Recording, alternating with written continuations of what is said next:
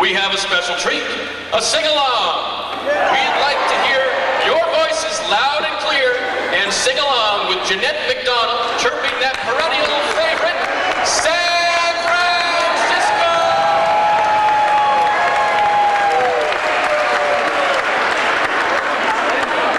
A city six times risen from devastating fires. A city now flaunting its beauty and greatness from the water's edge and up and across its seven eternal hills. A city preeminent in the arts, sciences, and culture. A city carefree and gay,